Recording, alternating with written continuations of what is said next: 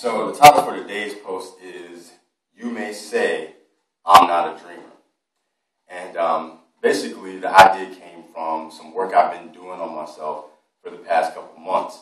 After graduating seminary, I was doing a lot of thinking about what type of minister I intend to be. I also was thinking about the different things that come up in my own life because I've seen enough times where ministers project their own stuff onto their parishioners and onto the world. And I have no intention of being that type of minister. What my intentions are to be present with the people that I engage with on a daily basis so that we can both be lifted to a higher place within our own consciousness. That's my intention. So as a part of that effort, I started looking at stuff about myself. I mentioned some of it when I, I did the post on um, turning filth into fertilizer. So at any rate, I've been doing some of that kind of work, and some of the things that came up is I started thinking about how much people have a lot of dreams and expectations that are unfulfilled in their lives, and how so many people feel like their lives are worthless because they didn't line up with the story that they told themselves about how their lives are going to be. If you've ever been in a relationship that broke up, you know what I'm talking about. If you ever worked for a company for a long time, thinking you were going to retire and get that nice watch, bling, and it never happened, you know what I'm talking about. Been in a partnership and the person cheated, you know what I'm talking about. If you ever took a test and failed at it, you know what I am talking about. There's this disappointment that comes when reality does not match our expectations. And so when I think about the best way to deal with that, the way that I tell myself to deal with it is to try my best to be in the present and to allow the mystery of life to unfold. And then as I engage and encounter reality, I shift and grow and expand in my consciousness and my awareness. And I just kind of go from there. But so many of us are so afraid of the unknown future that we project dreams and hopes and all this other stuff into it, not knowing really what's going to happen.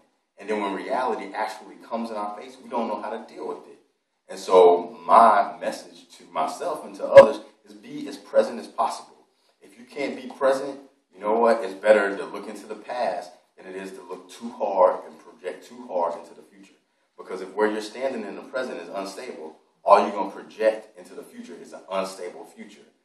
However, the past, if for all its failings, is actually more stable. And that's why a lot of people get stuck in the past. But I'll explain this. Whatever happened in the past already happened. It's not moving.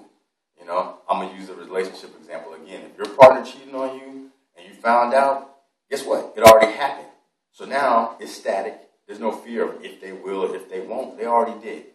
Now you can actually learn from it and you can see how you might have contributed to it and how you may have picked a partner that wasn't in alignment with your highest good or if you are didn't you know you two, of you didn't work on a relationship together and try to evolve into a higher future or if you work for a company well past you, the time that you knew you should have left and then they fire you okay i was worried about it. I can learn from it. That already happened.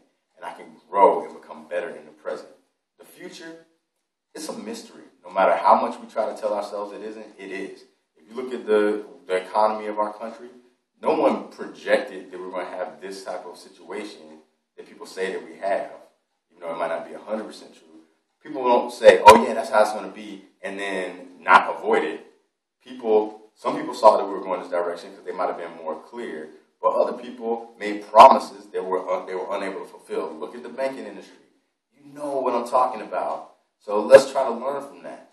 So here's another story, something I thought about because I've had some relationships that haven't worked out, and I, I think about, okay, what what did I do? How can I change? Yeah, yeah, yeah. So I remember I was talking to my ex-wife, my former wife, I like to say, my former wife, and now friend. Um, I was talking to her mom when I first met her, and she asked me, "What are your hopes and dreams?" And I said, "I don't have hopes and dreams." And her mom was just like, "What kind of loser did you just bring here?" But the reason why I said it was because the way I was framing that kind of question at that time of my life was that hope is really for people in a hopeless situation. Like if you're feeling like, uh, uh, uh, and there's nothing left but hope, I'm not saying anything's wrong with it, but I wasn't in a hopeless situation, so I didn't see the point for hope. Hope is when you're like, man, I can't see any way out. Looks like it's all over, but at least I got hope. I don't want to live like that. Forget hope. if I can avoid it. If I'm in a situation where I can't avoid hope, all right, thank God for hope.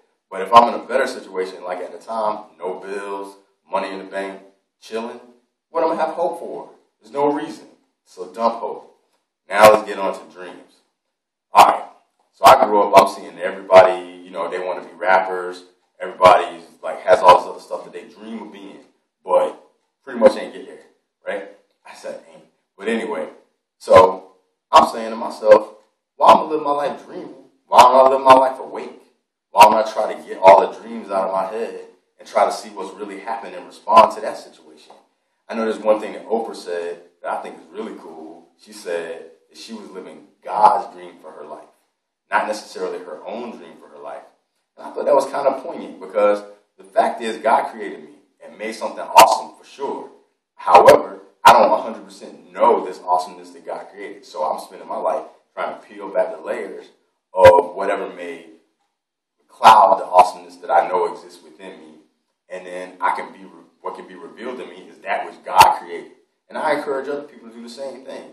Get to know yourself and all the stuff that you project, you know, I wish this happened, I wish that happened, I dream for this and I dream for that. You know, sure, you may be able to live into that, but it's going to be in a response to what's going on in the moment. If you're so caught up in dreams that you don't know what's going on and expectations, when reality comes, you're not going to know how to respond to it. If you do have the opportunity, you're not going to know how to respond to the opportunity because you're too busy dreaming. Because what happens when you dream when you sleep? I'm not trying to be dreaming. I'm trying to be awake and respond to the situation at hand. So this here punching bag is going to be a demonstration of what it is I'm talking about. You see this punching bag. When you see a punching bag, you're going to think, well, it's used for a certain purpose. You see a person with gloves on like this, and you're going to say to yourself, okay, I see this person, I see this punching bag, I see them standing in front of it. I know how they're going to respond to it, right? That's what you expect. So your brain is already programmed for a certain expectation. So then you see me walking up to it, and I go,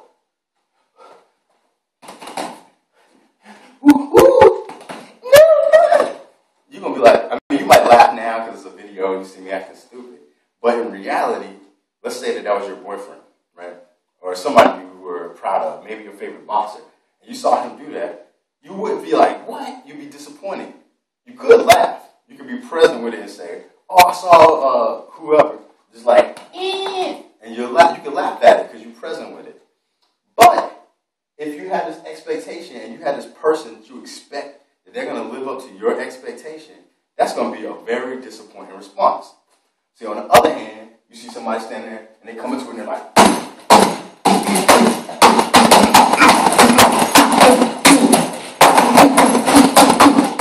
you say, okay, that's what they're supposed to do. You feel fine.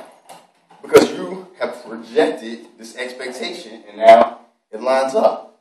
So you see, when you have that expectation and things line up, when they don't, I'm saying live into the mystery. Walk up to it, see nothing. You know, you see a punching bag, you see some people, you don't know what they're going to do. They do that, you respond to it. They do this, you respond to it. And then things unfold from there. That's what I'm trying to do. That's what I'm inviting other people into. Live in the mystery. No, I'm not a dreamer. Do I think there's something wrong with dreaming? Not at all. The only thing is, like I said before, if you're dreaming and you wake up and find out that the world is not what you thought, you're going to be feeling pretty terrible. And if you find yourself in that situation, guess what? There's people out here trying to be awake, people who are all the way awake, who will help you out through the process of realizing that you've been living in the matrix. At any rate, I hope you got something out of this. You may say I'm not a dreamer, but I'm not the only one.